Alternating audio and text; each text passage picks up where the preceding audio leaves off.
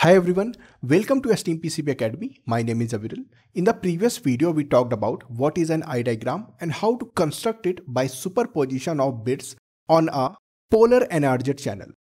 We have seen couple of simulations as well on Sigrity Topology Explorer. In this video, we'll focus on what is an eye mask and how to create an eye mask using a datasheet of driver and receiver ICs. We'll also discuss couple of demos to see how to apply it on Sigrity SI Viewer. So let's get started.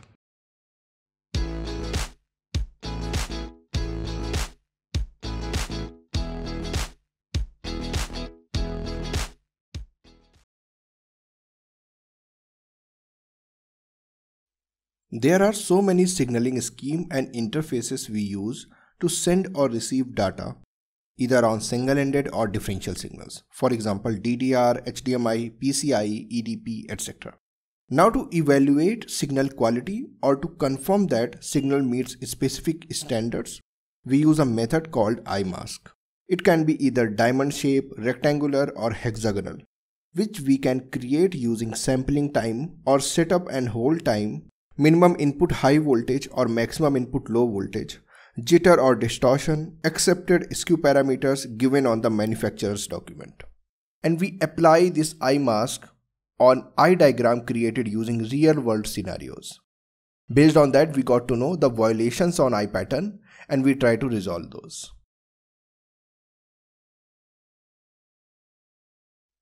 Now let's talk about different information or calculation we need to do to create eye mask. As you can see in the image, we need to find out these values from A to H to create an eye mask. And very first condition is this complete eye mask should be within one UI or one unit interval. So in case of single-ended signals or in case of SDR, it should be equal to one clock period. But in case of DDR, it should be either equal to one data period or one strobe period.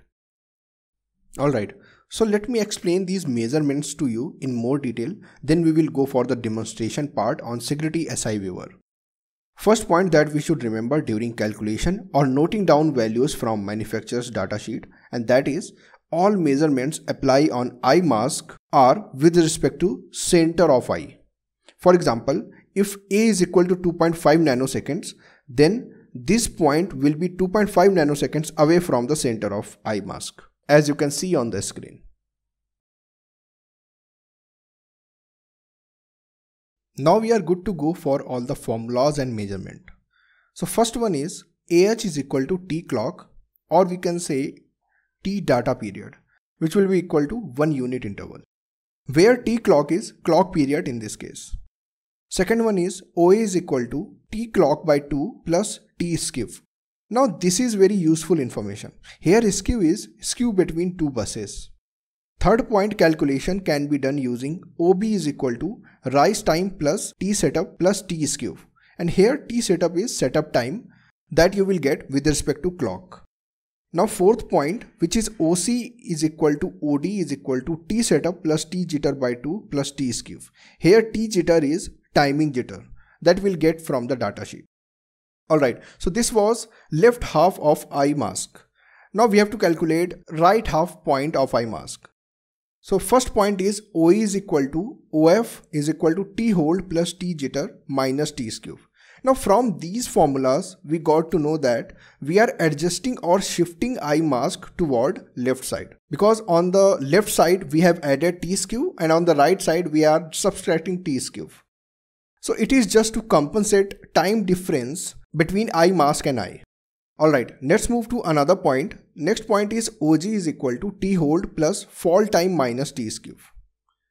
Now here the point is why I have, I have not considered T jitter. Because in most of the cases, when we create an eye mask, we consider it as an ideal eye diagram. Alright, and in that case, we are considering that T jitter is almost equal to 0.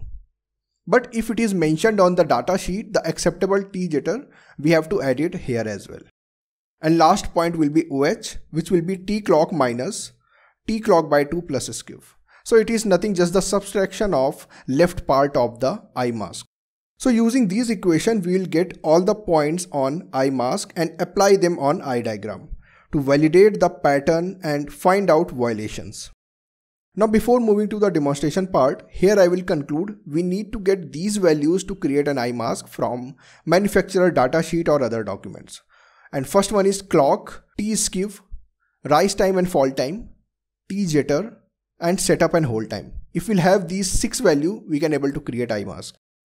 Apart from these timing information, we also need some voltage information from manufacturer's datasheet. And that is output high voltage and output low voltage. We also represent these voltages with VOH min and VOL max. So in case of our topology, which is a synchronized LVDS signal of 400 megabits per second. We have noted down all these values from the manufacturer's data sheet. So in our case, T clock will be 1 upon 400 Mbps, which will be 2.5 nanoseconds. Setup and hold time, rise time, fall time, skew, and jitter as mentioned on the data sheet, we are considering it almost negligible or zero.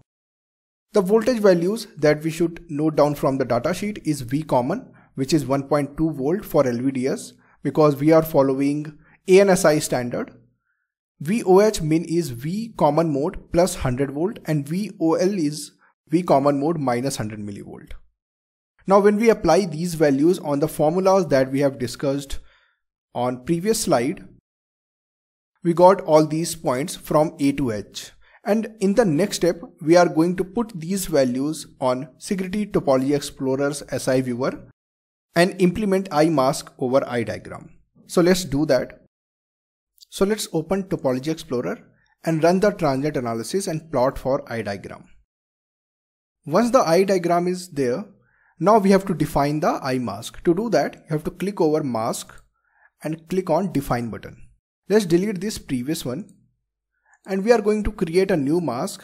Let's name it LVDS synchronized channel and this will be a hexagonal mask. Similarly, you can plot for rectangular and diamond.